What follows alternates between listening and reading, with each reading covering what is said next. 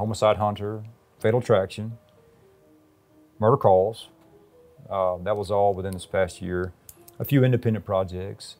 Um, one project I got into that I was really surprised. The casting director called me back. Hi, and welcome to Kelly, where we talk about life, your life and my life. And through Kelly, we hope to inspire. I have Eric Morris on the show today. And Eric is actually, Eric was one of my, you trained here for, sure did. That's where I for two years, three years? About two years. About two years, yeah. So I know Eric really well, and Eric is. I wanted to put Eric on the show for one. He is an average Joe, and when I say Average that, Joe. you're not an average Joe. But as far as acting is concerned, um, you were probably one when when you first started in class. You were one of those people that I was thinking, I don't know if he's going to be able to loosen up enough to really do this. Yeah. And you have. I'm So yeah, working on it, but yeah. no, I mean you you you uh, you just um, a um, commercial just came out with you. It was for divorce, Yeah, Atlanta Divorce Lawyer Group, yes. and you looked so good in it. Uh, Ken, Kendall Kendall uh, Hanslick was in it also, which was one of my students, and then um, Kit Van Sant Van who Yes, was Kit. also on the show. That's my wife. or Yeah, the wife in commercial the wife. co- yes, yes. But you, you looked you looked so good.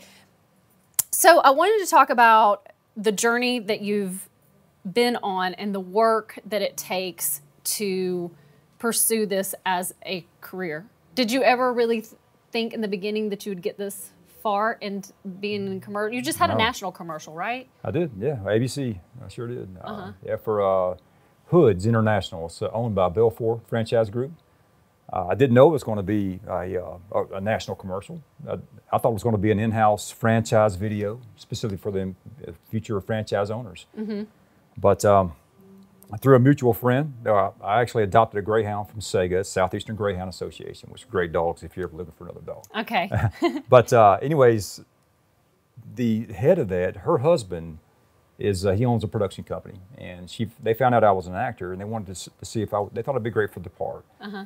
So I auditioned for it, and um, thought it was going to be an in-house, you know, franchise commercial. And along the way, the night when I showed up to shoot it at the restaurant, the uh, we found out that the owner of Belfour International Group worked out a thing with ABC for the during the James Beard Awards, uh, which is a big event for chefs. Uh-huh.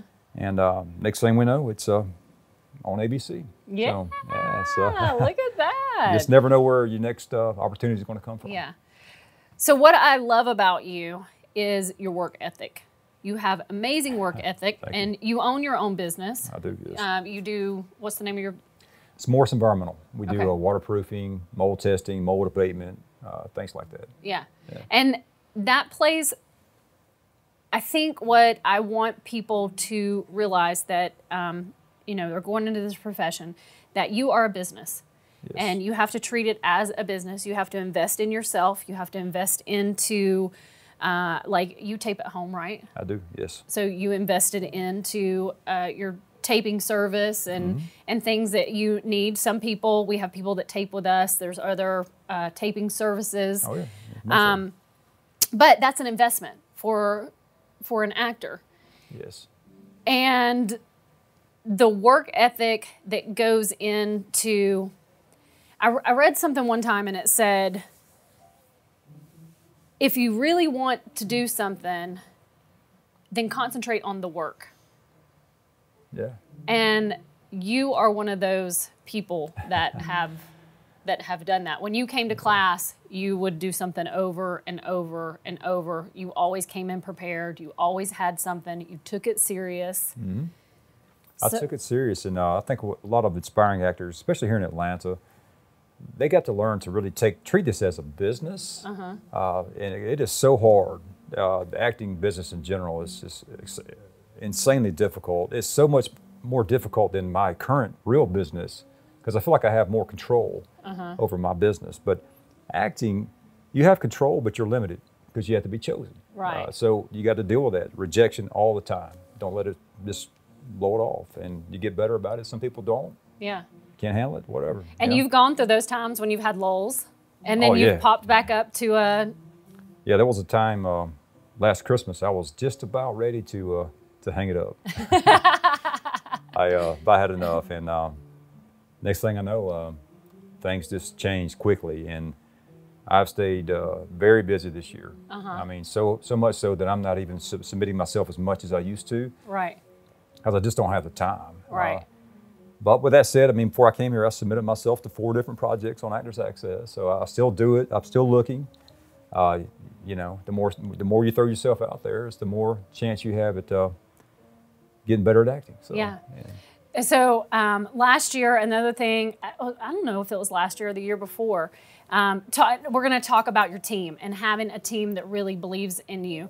And I was talking to you, and you said you had gotten si- signed with a, an agent, and you said, you know, I just she just doesn't believe in me, and I was like, no, she probably does. And I actually had a conversation with her, and it was exactly like you said, and we said, you know, you don't need anybody on your team that is not going to believe in you.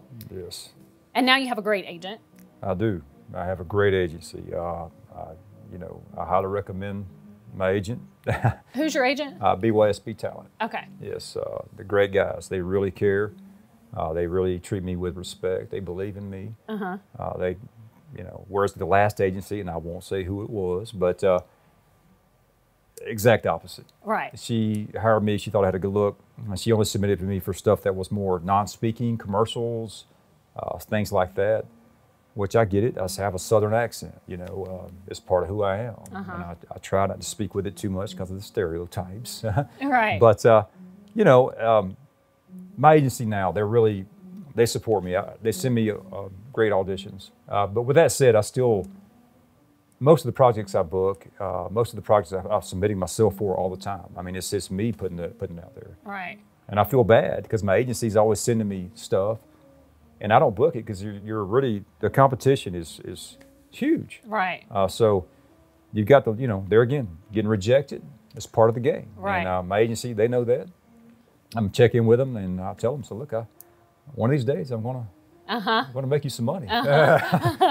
and uh, they, they're very, uh, very, uh, they believe in me. Yeah, it's, it's, those, it's those small steps. But one thing that an actor needs to realize is that your agent only does 10, per- you pay your agent 10%, Right. your agent does 10% of the work.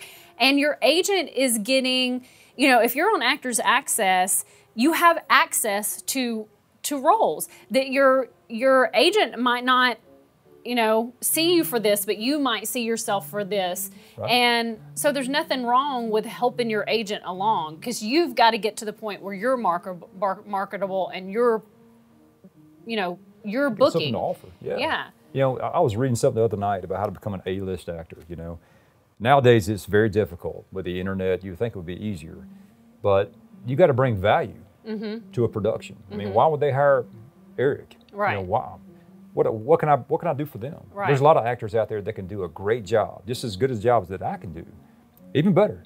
So, but I have to have something to offer them, which has got to be more than just acting. So, Yeah. which is a, an audience base. Right. So you really got to keep yourself out there, keep throwing yourself out there. Don't worry about rejection, and just keep keep plugging along. Because the more exposure you get, the more likelihood people are going to see you, and uh, you you get a reputation. Yeah. You know. And you're kind of a jack of all trades.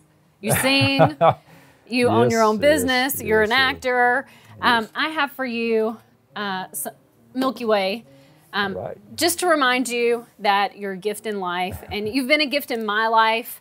And I wanted to bring on just, you know, an actor that is really trying and working in in this industry and Yes. you're you're one of those actors so what are some things that you've been able to do for this last year because you said that your your momentum has picked up you're feeling better Yes, um, a lot. I was um, went to Houston for an ID Discovery, uh, uh, the series. Uh, I forget the I forget the name of it, but uh, it was a great opportunity. Um, and then uh, Homicide Hunter, Fatal Attraction, Murder Calls.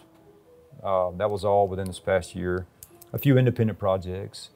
Um, one project I got into that was really surprised. The casting director called me back and told me she really wanted to book me for the role, but they selected another guy for it because he had a much longer IMDb resume. So much so he was a series regular on like uh, Days of Our Lives a long time ago. Right. So that really boosted my ego. They still gave me a role. I played a drunk guy that's I won't tell you too much about it, but I was a drunk guy in a bar and I'm belligerent hitting on the uh, the main actress and uh, it was a good a good a good role, a good supporting role and uh, but it really made my day. Uh, that one is uh, and a couple other productions we got going on. I got something coming up next month. A really cool dark project where I play a, uh, a serial killer. So Uh-huh. it's always fun. Yeah. Uh, so yeah, I just and that one I didn't even sub, I submit myself for. They asked me if I would like to uh, be involved in it. So uh, You yeah, just never it's just know. Uh, a lot of different things. Commercial wise, uh, the ABC commercial, the Divorce Lawyer Group. Um, I've auditioned for a lot of commercials, but uh, you know that's a hard to book sometimes. Uh huh. So yeah, I just keep putting myself out there. Um, it's one of those things you got to really just keep plugging along. Well, so thank you, Eric. Thank you for coming and um, you know your first big thing that you book. You got a place here on this seat. awesome. And um, just some advice. I mean, you've pretty much said it all. Just keep plugging away. Um, but some advice to give to to an actor um, who is uh, maybe they're in a lull. ask yourself, do you really want to do this? You know, it's not for everybody, and that- that is the truth. Somebody told me that a long time ago, and I didn't believe it. And now that I'm doing it, it is not. You really got to really want to do this, and because it is tough. And um, Why didn't you believe that?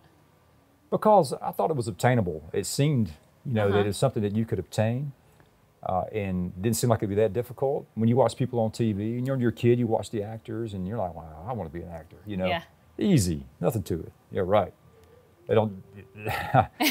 every show you watch on TV, every single selected actor in that show went through a lot to be where they're at, Yes. Yes. and yeah, a lot. And That's the reason I get really upset. Like if somebody says that an actor doesn't have the right to say things about the world that they're in, and I'm like, you know, that that just because that person is an actor doesn't mean they don't live in the world. It doesn't mean that they haven't struggled to be where they are and to get what they have. it's right. just you, you don't realize it.